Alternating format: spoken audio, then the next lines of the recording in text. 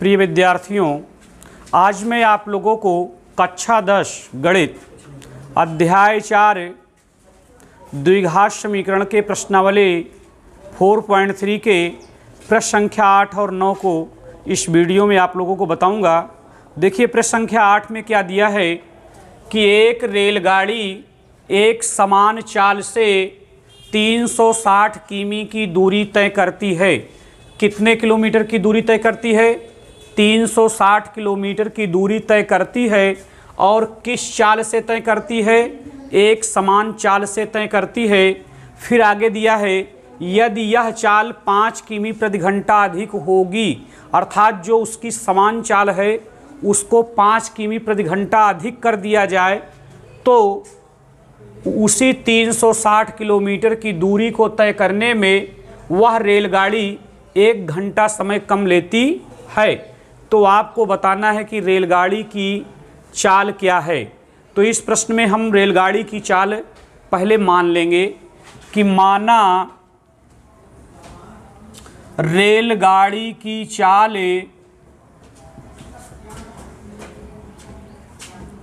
बराबर एक्स किमी प्रति घंटा। हमने आपको एक बार इस तरह का प्रश्न बता चुका हूँ। देखिए, अगर दूरी किलोमीटर में दी हो तो चाल सदैव किलोमीटर प्रति घंटा में मानना चाहिए। तो रेलगाड़ी की चाल हमने क्या मान लिया? एक्स किमी प्रति घंटा। ये रेलगाड़ी की एक समान चाल मान ली गई। और प्रश्न में दूरी क्या दिया है? 360 किलोमीटर। अब आप लोग जानते हैं कि अगर प्रश्न में दूरी दिया है और चाल भी दिया है तो दूरी चाल की सहायता से समय भी पता आपको चल जाएगा। चूँकि समय बराबर सूत्र क्या होता है? दूरी बटा चाल। दूरी बटा चाल, ये समय ज्ञात करने का सूत्र होता है। तो समय बराबर आ गया दूरी। दूरी कितना है? 360 किलोमीटर। बटा चाल कितना है? एक्स किमी प्रति घंटा। तो के एम से के एम आपका कटेगा तो ये बचेगा 360 बटा एक्स घंटा। माने जब वो रेलगाड़ी एक्स किमी प्रति घंटा की चाल से 360 किलोमीटर की दूरी को तय करेगी तो उसको समय क्या लगेगा? 360 बटा एक्स घंटे का समय लगेगा। अब हम लिखेंगे प्रश्नानुसार चाल। प्रश्नानुसार चाल। चूँकि प्रश्नानुसार चाल क्यों लिखी जा रही है? यहाँ से आपको पढ़ना है कि यदि यह चाल पाँच किमी प्रति घंटा अधिक होगी अर्थात जो चाल मानी गई है, उसमें यदि पाँच की वृद्धि कर दी जाए, तब उसका क्या परिणाम होता है? तो प्रश्नानुसार चाल बराबर यक्स प्लस पाँच किमी प्रति घंटा। अब देखिए, चाल तो बढ़ा दी गई, लेकिन प्रश्न में कहा है कि उसी यात्रा में, उसी यात्रा का मतलब अर्थात 360 किलोमीटर की ही दूरी को तय करना है अब इस चाल से। तो लिखिए, पुनः समय बराबर, पुनः समय बराबर तो समय बराबर होता है दूरी बटा चाल तो दूरी चूँकि प्रश्न में वही दिया है 360 किलोमीटर ही, और चाल आपकी हो गई एक्स प्लस पाँच किमी प्रति घंटा तो आपका के एम से के एम कटेगा 360 बटा यक्स प्लस फाइव घंटा, ये ऊपर चला जाएगा, यानी 360 बटा यक्स प्लस फाइव घंटे। तो आप जानिए कि इस वाले समय और इस वाले समय का अंतर प्रश्न में कितना दिया है कि एक घंटा कम लगता है। अर्थात कहने का मतलब आप लोग जानते हैं कि यदि अपनी चाल को यदि आप लोग बढ़ा दोगे तो किसी भी दूरी को तय करने में पहले की अपेक्षा आपको कम समय लगेगा। क्योंकि चाल बढ़ाने पर समय कम लगता है। चाल घटाने पर समय ज़्यादा लगेगा और चाल बढ़ाने पर समय कम लगेगा। तो अर्थात ये जो 360 बटा यक्स है, अगर एक मोटे तौर पर अगर इस पर चार घंटे का समय लगता होगा। तो इस कथन के अनुसार इस पर तीन घंटे का ही समय लगेगा। क्योंकि कह रहा है ना कि एक घंटे कम समय लगता है तो अर्थात ये एक घंटे कम समय है और ये एक घंटे ज़्यादा है। तो अर्थात जैसे मोटे तौर पर अगर देखा जाए, जैसे इसको पाँच घंटा मान लिया जाए तो प्रश्न के अनुसार इसको चार घंटा माना जाए, तभी पाँच और चार का अंतर एक आएगा। तो अर्थात पहले वाले समय में से अब वाला अगर समय घटा दिया जाए तो कितना आएगा? एक आएगा। तो हम यहाँ लिखते हैं, प्रश्नानुसार। तो प्रश्नानुसार लिख करें 360 बटा एक्स में से हम क्या घटा देंगे? 360 बटा एक्स प्लस फाइव घंटा बराबर कितना? एक घंटा। ठीक? चूँकि प्रश्न में दिया है कि एक घंटे कम लगता है। अब इसमें हम 360 कामन के रूप में ले सकते हैं तो यहाँ बचेगा एक बटा एक्स माइनस यहाँ बचेगा एक बटा एक्स प्लस पाँच बराबर कितना? एक। अब हम इसको हल करेंगे तो यक्स प्लस पाँच ऊपर जाएगा और ये वाला यक्स यहाँ आकर माइनस एक्स बनेगा। अपान में जब दोनों का हम गुणा करेंगे तो x square plus five x आएगा। बराबर एक के बटे में ये तीन सौ साठ आ जाएगा। तो इस प्रकार से आपका ये माइनस एक्स प्लस एक्स से कैंसिल हो जाएगा। तो ये बचेगा पाँच बटे x square plus five x बराबर एक बटा तीन सौ साठ। तो इसको हम तिरक गुणा करके भी इसको हम हल कर सकते हैं। तो तिरक गुणा करने पर हम एक का गुणा इसमें करेंगे तो एक्स स्क्वायर प्लस पाँच एक्स ही आएगा। बराबर 360 में पाँच से गुणा करेंगे तो ये 1800 आएगा। क्योंकि छत्तीस पंचे एक होता है। तो अब हम क्या करेंगे? एक्स स्क्वायर प्लस पाँच एक्स माइनस अठारह सौ बराबर कितना? ज़ीरो। अब ये हमारा एक द्विघात समीकरण बन गया। इस द्विघात समीकरण में यक्ष का मूल या मान आपको निकालना पड़ेगा और जो यक्ष का मान आएगा उसी की सहायता से रेलगाड़ी की चाल ज्ञात हो जाएगी। तो देखिए, इसमें हमें आदियंत नाम का गुणनखंड दिखाई दे रहा है। चूँकि इसमें पदों की संख्या एक, दो, तीन है, उसमें प्रयुक्त जो चर की घात है वो दो और एक के रूप में है। तथा जब हम आदि और अंत का इसका गुणा करेंगे तो ये माइनस अठारह सौ एक्स स्क्वायर के रूप में आएगा। अब हमें माइनस मैंने अठारह सौ के ऐसे दो खंड करने हैं, जिसका गुणा करने पर तो अठारह सौ आवे, पर यदि हम उसका अगर आपस में अंतर अगर देखें तो अंतर पाँच आवे। तो इसके लिए पैंतालीस और चालीस आपका बन जाएगा। अगर आप 45 और 40 का गुणा करेंगे तो 1800 आएगा। चाहे आप चेक कर लें, चार पंचे बीस, चार चौक सोलह दो अट्ठारह तो इस प्रकार से आपका ये 1800 आ गया। और अगर आप 45 में से 40 घटा देंगे तो आपका पाँच भी आ जाएगा। तो हम यहाँ लिख सकते हैं एक्स स्क्वायर प्लस ब्रेकेट्स में पैंतालीस माइनस चालीस इंटू यक्स माइनस अट्ठारह बराबर कितना? ज़ीरो। ये जाकर हमारा एक सही संतुलित रूप बन गया। अब इसमें हम ब्रेकेट्स को तोड़ेंगे प्लस चिन्ह से।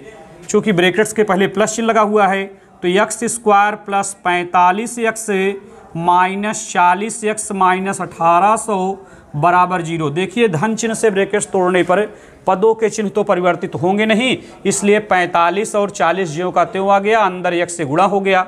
अब हम दो दो पदों में कामन लेंगे तो पहले और दूसरे पद में कामन क्या है? यक्स तो यक्स से भाग देंगे। जब यक्स स्क्वायर में तो यक्स बार जाएगा और इससे भाग देंगे तो ये पैंतालीस बार जाएगा। माइनस इन दोनों में चालीस अगर कामन हम ले लेते हैं, चूँकि चालीस से अठारह सौ कट जाएगा तो यहाँ यक्स बचेगा। ये माइनस आपका प्लस होगा, चूँकि माइनस कामन है।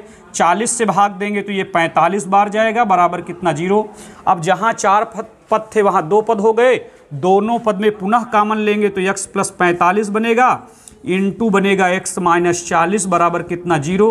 अब हम तुलना करेंगे यक्स प्लस पैंतालीस बराबर कितना ज़ीरो तो यक्स बराबर माइनस पैंतालीस।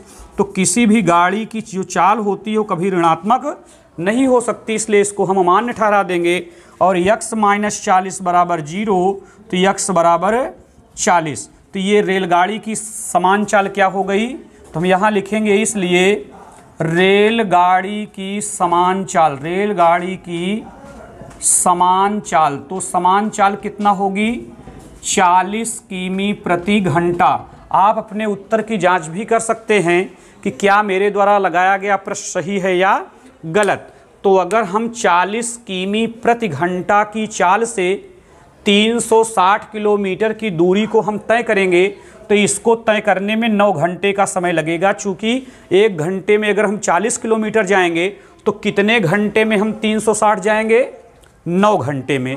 अब इसी तरह अगर हम अपनी चाल को पाँच की प्रति घंटा अगर हम बढ़ा दें तो चालीस में पाँच बढ़ा देंगे तो पैंतालीस होगा। अब पैंता, एक घंटे में अगर हम पैंतालीस किलोमीटर जाएँगे तो 360 किलोमीटर जाने में हमें आठ घंटे का समय लगेगा। तो देखिए, पहले हमें नौ घंटे का समय लगा और चाल बढ़ाने पर आठ घंटे का समय लग रहा है। तो पहले की अपेक्षा, पहले की अपेक्षा एक घंटे कम समय लग रहा है ना? पहले नौ लग रहा था, अब आठ लग रहा है। तो इससे ये बात सिद्ध होती है कि ये शत प्रतिशत आंसर बिल्कुल सही है। इसी प्रकार से परीक्षा में आप अपने उत्तर की जाँच कर सकते हैं। अब देखिए, प्रश्न संख्या नौ। प्रश्न संख्या नौ में क्या दिया है?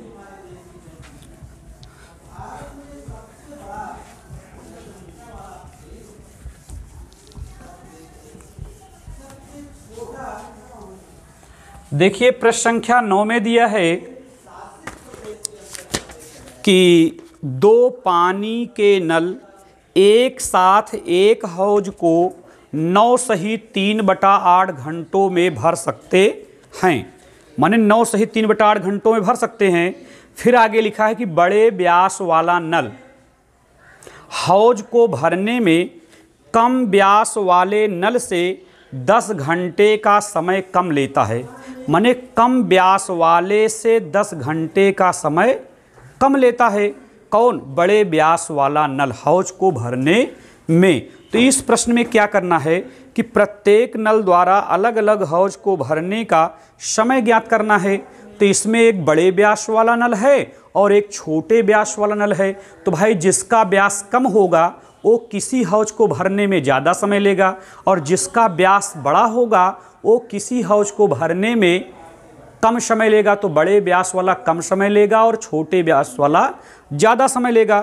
तो यहाँ प्रश्न में लिखा है कि कम व्यास वाले नल से 10 घंटे का समय कम लेता है। सवाल करो कौन? बड़े व्यास वाला नल। ठीक? तो यहाँ पर ये मान लिया जाए कि माना कम व्यास वाला नल हौज को भरने में यक्स घंटे का समय लेता है। तो हम यहाँ लिखते हैं प्रश्न संख्या नौ के लिए कि माना कम व्यास वाला नल, कम व्यास वाला नल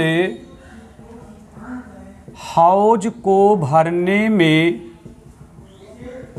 समय लेता है बराबर, समय लेता है बराबर कितना? यक्स घंटा। कितना घंटा भैया? यक्स घंटा। तो मैंने मान लिया कि माना कम व्यास वाला नल हौज को भरने में यक्स घंटे का समय लेता है। तो कम व्यास वाले नल से 10 घंटे का समय कम लेता है कौन? बड़े व्यास वाला। तो अब यहाँ पर लिखिए कि बड़े, यहाँ बल्कि लिख दीजिए प्रश्नानुसार। प्रश्नानुसार बड़े व्यास वाला नल हौज को भरने में समय लेगा बराबर। तो बड़े व्यास वाला तो छोटे व्यास वाले से कम समय ले रहा है, अर्थात यक्स माइनस टेन घंटे का समय लेगा ये, और ये यक्स घंटे का समय लेगा। ये बात क्लियर हो गई।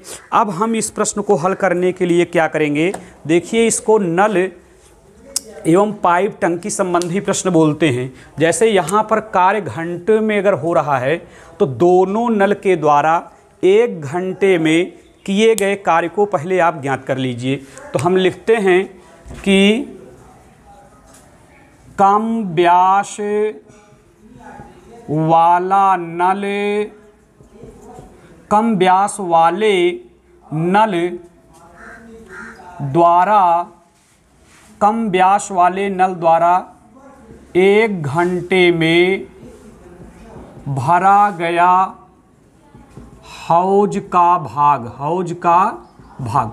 माने एक घंटे में, कम व्यास वाले नल द्वारा एक घंटे में भरा गया हौज का भाग। तो अगर वो यक्स घंटे में पूरे हौज को भर देता है तो एक घंटे में कितना भरेगा? एक बटा यक्ष एक बटा यक्ष भाग भरेगा। तो इसी प्रकार इसी प्रकार बड़े व्यास वाले नल द्वारा एक घंटे में भरा गया हौज का भाग। तो अगर बड़े व्यास वाला एक्स माइनस दस घंटे में पूरा भर देता है तो एक घंटे में कितना भरेगा? एक बटा एक्स माइनस टेन। ये बात क्लियर हो गई। अब देखिए, जबकि प्रश्न में दिया है कि दो पानी के नल एक साथ, अगर दोनों हौज को एक साथ खोल दिया जाए तो दोनों उसे नौ सहित तीन बटा आठ घंटों में भर देते हैं। अर्थात नौ सहित तीन बटा आठ घंटों में पूरा भर देते हैं। तो दोनों एक घंटे में कितना भरेंगे तो उसके समय का व्युत्क्रम करना पड़ेगा। तो हम यहाँ पर डायरेक्ट लिख देते हैं, प्रश्नानुसार। अब प्रश्नानुसार में थोड़ा से आपको समझने की बात है कि इस नल द्वारा एक घंटे में भरे गए हौज का भाग प्लस इस नल द्वारा एक घंटे में भरे गए हौज के भाग को आपको जोड़ना पड़ेगा। तो एक बटा यक्स प्लस एक बटा एक्स माइनस टेन बराबर, अब देखिए दोनों हौज जो हैं, उसको नौ सही तीन बटा आठ, नौ सही तीन बटा आठ घंटे में पूरा भरते हैं। तो नौ और बहत्तर तीन पचहत्तर बटा आठ, यानी पचहत्तर बटा आठ घंटे में तो पूरा हौज भर देते हैं ना। दोनों नल पचहत्तर बटा आठ घंटे में पूरा हौज भर देते हैं। तो अगर एक घंटे में पूछा जाए कि दोनों के द्वारा एक घंटे में कितना हौज भरा गया, चूँकि यहाँ पर दोनों के द्वारा एक एक घंटे के काम को जोड़ा जा रहा है ना तो यहाँ दोनों के द्वारा एक घंटे का काम निकाल लीजिए। तो इस समय का अगर व्युतक्रम कर दोगे तो दोनों के द्वारा एक घंटे में भरे जाने वाले हौज का भाग निकल आएगा, चूँकि यहाँ दोनों के द्वारा भरे जाने वाले भाग को जोड़ा जा रहा है। तो जो ये पचहत्तर बटा आठ है, इसको आठ बटा पचहत्तर लिख दीजिए। तो ये दोनों के द्वारा एक घंटे में भरा जाने वाले हौज का भाग प्राप्त हो गया। क्लियर? अब इसी को आपको हल करना है। तो एक्स माइनस टेन का गुणा एक में आप करेंगे तो x minus ten, plus x का गुणा एक में करेंगे तो एक्स अपान में जब इन दोनों का आप गुणा करेंगे तो x square minus ten x आपको मिलेगा। बराबर ये आठ बटा पचहत्तर आपको मिलेगा। अब ये देखिए यहाँ पर यक्स यक्स दो बार हैं तो टू एक्स हो गया। माइनस टेन अपान x square minus ten x बराबर आठ बटा पचहत्तर। अब इसको आप त्रियक गुणा करके हल कर सकते हैं। आठ से गुणा इसमें कर दीजिए तो ये एट एक्स स्क्वायर आपका बनेगा। माइनस ये अस्सी एक्स बनेगा आपका। बराबर ये पचहत्तर का जब दो में गुणा करेंगे तो पचहत्तर पचहत्तर दूना डेढ़ सौ।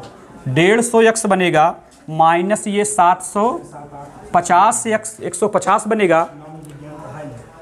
तो इस प्रकार आप त्रियक गुणा करेंगे तो एट एक्स स्क्वायर माइनस अस्सी एक्स आपको मिलेगा, बराबर इसका गुणा करेंगे तो पचहत्तर दूना डेढ़ सौ एक्स माइनस सात सौ पचास आपको मिलेगा। अब आप पच्छांतर कर लीजिए, एट एक्स स्क्वायर माइनस अस्सी एक्स माइनस डेढ़ सौ एक्स प्लस एक सात सौ पचास बराबर ज़ीरो।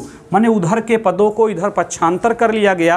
तो जो धन में थे वो ऋण में हो गए, जो ऋण में थे वो धन में हो गया तो बराबर ज़ीरो बन गया। अब यहाँ पर ये देखना है कि एट एक्स स्क्वायर यही अकेला है एक्स स्क्वायर। अब हमें देखना है एक सौ पचास एक्स और डेढ़ अस्सी एक्स मिलाकर कितना होगा? दो सौ तीस एक्स। तो माइनस दो सौ, चूँकि पंद्रह आठ तेईस होता है तो दो सौ तीस एक्स बनेगा, प्लस सात सौ पचास बनेगा बराबर कितना? ज़ीरो बन गया। अब इसमें आपको कुछ कामन मिल जाएगा। अगर आप चाहें तो दो आपको कामन मिलेगा। चूँकि दो से सारे पद इसमें विभाजित हो रहे हैं, इसलिए दो कामन के रूप में मिलेगा। तो जब दो कामन मिलेगा तो यहाँ बचेगा फोर एक्स स्क्वायर माइनस यहाँ एक एक पाँच, यानी एक सौ पंद्रह एक्स बचेगा। प्लस यहाँ दो तिहाई छः दुई सौ चौदह दुई पंचे दस बराबर ज़ीरो। तो इस प्रकार से जो दो कामन था, वो ज़ीरो के बटे में चला गया। ज़ीरो बटा दो अर्थात ये ज़ीरो हो गया। तो आपका ये समीकरण बन गया फोर एक्स स्क्वायर माइनस एक सौ पंद्रह एक्स प्लस तीन सौ पचहत्तर बराबर ज़ीरो।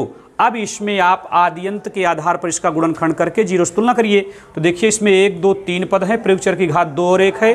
जब इसके आदि और अंत का हम गुणा करेंगे तो इसको होगा ये चार से गुणा करने पर चार पंचे, बीस आएगा।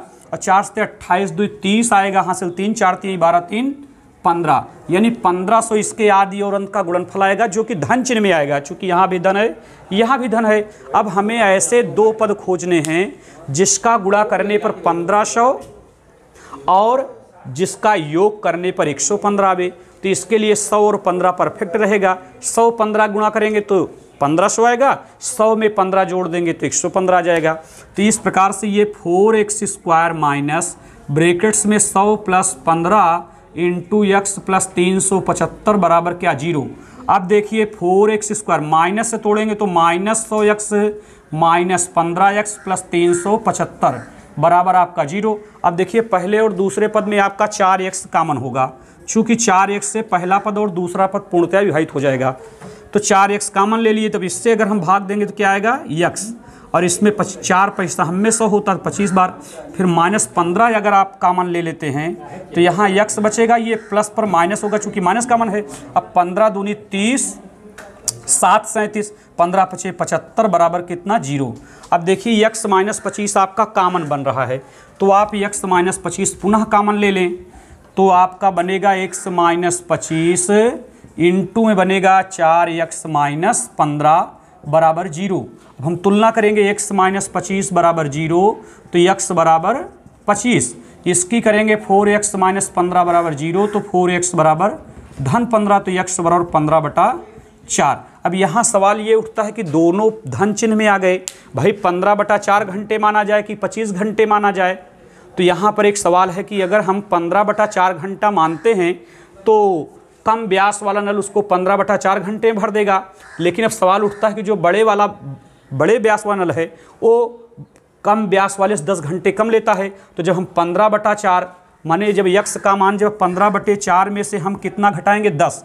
तो घटाएँगे तो ये पंद्रह माइनस दस चौक चालीस बटा चार आएगा।